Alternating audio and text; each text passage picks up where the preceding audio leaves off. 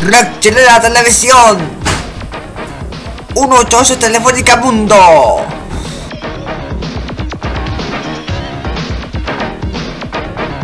Presentaron Telediario.